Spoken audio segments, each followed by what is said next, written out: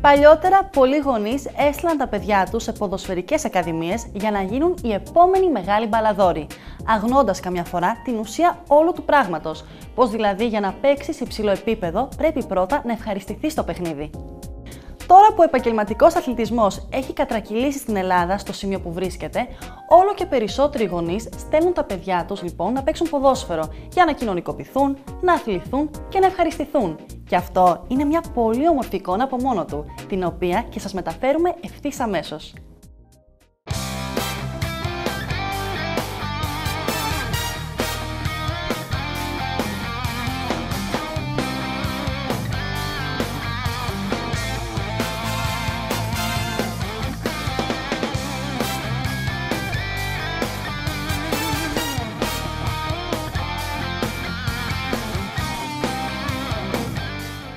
Ποδόσφαιρο σε αλάνα ή ποδόσφαιρο σε ομάδα.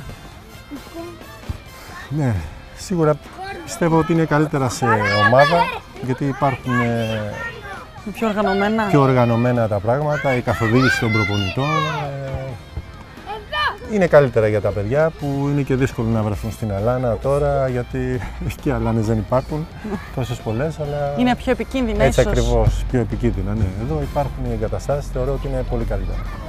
Σε ποια ηλικία μπορεί κανείς να ξεκινήσει το ποδόσφαιρο; Ναι. Εδώ έχουμε και παιδιά των 5 ετών. Ε, θεωρώ η ηλικία που μπορεί κάποιος να ξεκινήσει είναι μεταξύ 6 και 8. Είναι, είναι μια καλή ηλικία.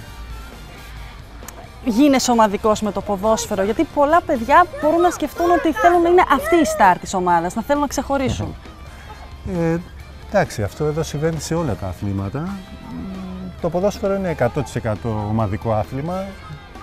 Παίρνεις, ε, παίρνεις αυτή τη γραμμή, ας το πούμε, Της ομαδικότητας. Έτσι ακριβώς της ομαδικότητας από τη στιγμή που μπαίνεις σε μια ομάδα και προσπαθείς να λειτουργήσεις έτσι ομαδικά. Ξέρουμε ότι το άθλημα αυτό έχει τραυματισμούς. Τι θα έπρεπε να γνωρίζουν οι γονείς; Όλα τα αθλήματα ε, κρύβουν ε, τραυματισμούς και έχουν επικινδυνότητα. Δεν νομίζω ότι πρέπει να ανησυχούν οι γονείς. Ε, όπως όλα τα αθλήματα είναι και το ποδόσφαιρο. Όχι, δεν πρέπει να φοβούνται, να αφήσουν τα παιδιά τους ελεύθερα, να έρθουν να, να παίξουν, να χαρούν το άθλημα. Πόσες ώρες προπόνηση κάνει αυτός που ασχολείται ως αθλητής και πόσες αυτός που κάνει πρωταθλητισμό; Ναι, σε αυτές τις ηλικίες τώρα των παιδιών ε, θεωρώ ότι και τρεις ώρες εβδομαδιαίως ε, προπόνηση είναι υπεραρκετή.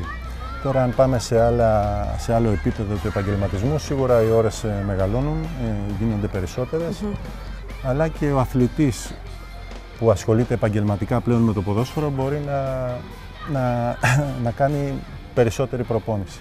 Είναι σε θέση να το πετύχει και πρέπει. Παλαιότερα στην έξυπνη ζωή είχαμε κάνει μια εκπομπή με παλιούς αθλητές που έδιναν συμβουλές στα παιδιά.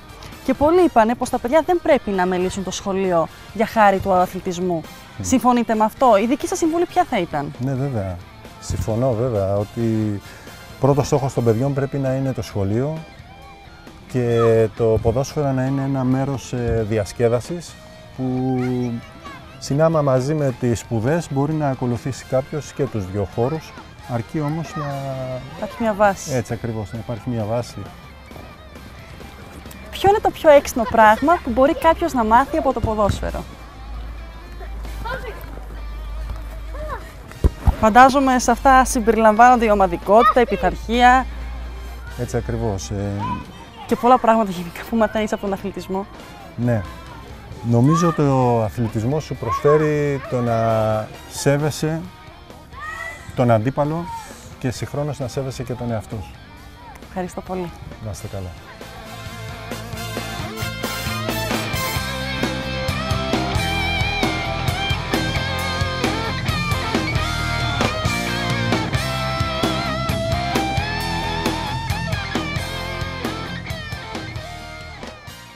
Ποιος είναι ο σκοπός της Ακαδημίας; Ε, Ο σκοπός της Ακαδημίας είναι να φέρει, να προσεγγίσει τα παιδάκια στον αθλητισμό, να τα αποτρέψει από κάθε κακόβουλη ε, διαδικασία έξω που μπορεί να υπάρχει. Και από εκεί και πέρα ο σκοπός μας είναι σιγά σιγά μέσα από αυτά τα τμήματα να να βγάλουμε κάποια αθλητές ε, για την ανδρική ομάδα. Α, έχετε κεντρική ομάδα. Έχει και ανδρική ομάδα, ναι. και όπως οι κυρίοι καταλαβαίνουμε ότι είναι δύσκολη, πρέπει να βγουν από τα τμήματα υποδομών παίχτες για την ανδρική ομάδα. Ποιο είναι το πιο έξυπνο πράγμα που μπορεί να μάθει ένα παιδί από το ποδόσφαιρο; Από το ποδόσφαιρο, γενικά τον αθλητισμό. Ναι, εντάξει. Από τον αθλητισμό μπορεί να μάθει πειθαρχία, ομαδικότητα, συνεργασία με τον συμπαίχτη του, Έτσι. Αγάπη για το αθλητισμό. αγάπη, ναι. Κάτι άλλο δεν μπορώ να θυμηθώ. Όχι, όχι, ε, ισχύουν όλα αυτά. Γιατί πολλά παιδιά δεν ξέρουν ε, πόσο όμορφο είναι να παίζεις με άλλα παιδιά της ηλικίας σου και να κάνεις και φιλίες μέσα από αυτό. Ε, ναι, πάνω απ' όλα είναι η συνεργασία και δημιουργείται σχέσεις ανθρώπινες μεταξύ των ανθρώπων, δηλαδή μεταξύ των παιδιών. Ε, το- το ένα πρέπει να σκέφτεται το άλλο, είναι μια ομάδα πλέον. Πρέπει να συνεργάζονται σαν ομάδα.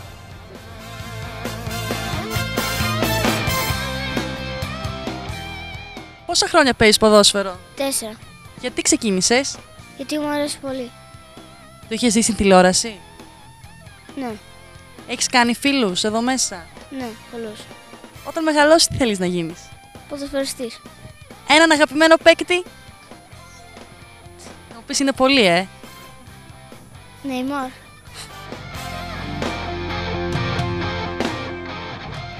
Πότε ξεκίνησε να παίζεις μπάλα, Από πέντε, χρο... από πέντε χρονών. Τώρα πώς είσαι, Οκτώ.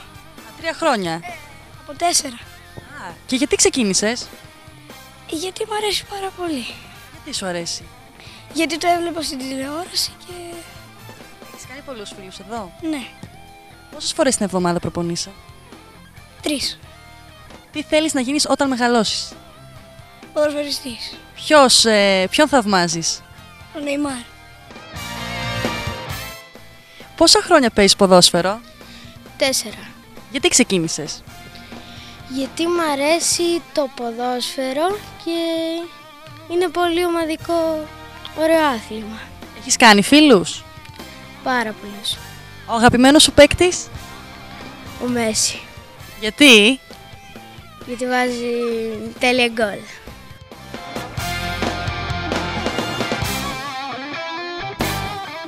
Πόσα χρόνια παίζεις ποδόσφαιρο, Τέσσερα. Γιατί ξεκίνησες, Επειδή είναι ένα άθλημα που μου αρέσει πολύ. Βάζεις πολλά γκολ; Ε, ε, τώρα όχι πολλά, παλιά έβαλα. Ε, θα βάλεις, είσαι πολύ μικρός ακόμα. Ο αγαπημένος σου παίχτης, Και εμένα μου αρέσει.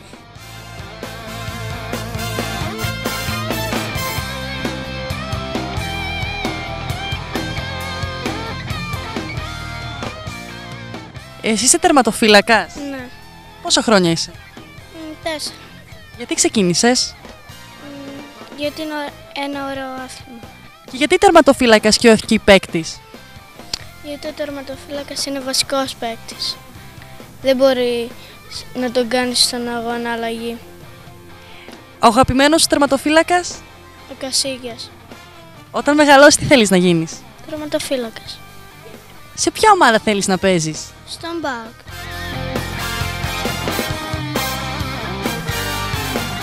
Ωραία τα ποδόσφαιρα, αλλά μου αρέσει πιο πολύ είναι όρχα.